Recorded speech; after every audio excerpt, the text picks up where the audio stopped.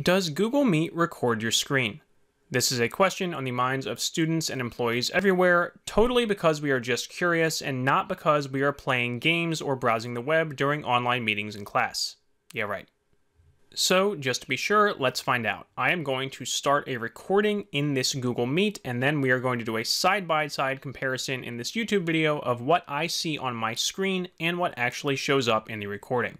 So to start the recording, I'm going to go down here to what looks like the Squid Game button, but is labeled the Activities button, select Recording, click Start Recording, click Start, and it's going to say Recording will start soon.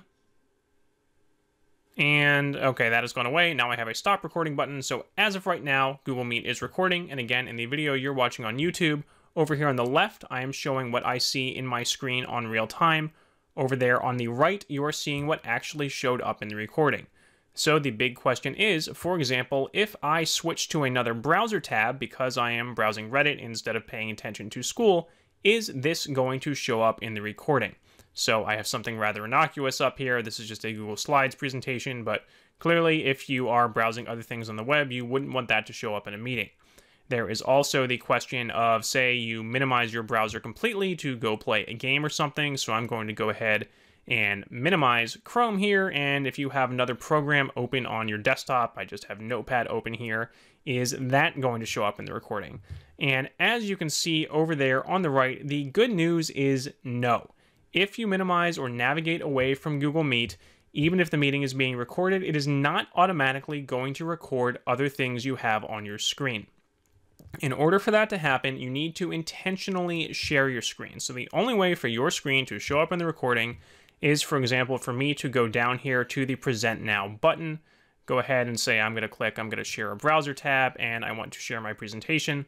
So if you are presenting into the meeting, for example, if you're giving a presentation to your class, then yes, this is going to show up in the recording, even if you switch back to another browser tab, for example, if I switch over here, and I believe even if I minimize this again, um, Google Meet still knows that I'm sharing that tab, so that might still show up in the recording. But yeah, the moment I stop sharing, that is going to stop showing up in the recording, and you are free to go on and play your games or read the browse the web. So again, people are always paranoid about this. I get this question all the time about Zoom. Yes, technically you're safe to switch to another browser tab if you only have Google Meet on your computer, if you have a computer that was given to you by your school or by your employer, there could very well be other monitoring software on there that lets them see what you're doing and know that you're not paying attention.